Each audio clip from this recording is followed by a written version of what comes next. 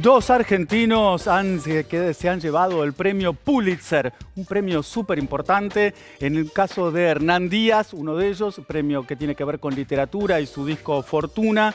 Y el otro premiado es el fotógrafo argentino Gustavo Rodrigo Abd, quien se quedó con ese premio junto con sus compañeros de Associated Press por su trabajo de fotografía durante la guerra de Ucrania. Hablando del escritor Hernán Díaz, quien fue premiado por este libro Fortuna.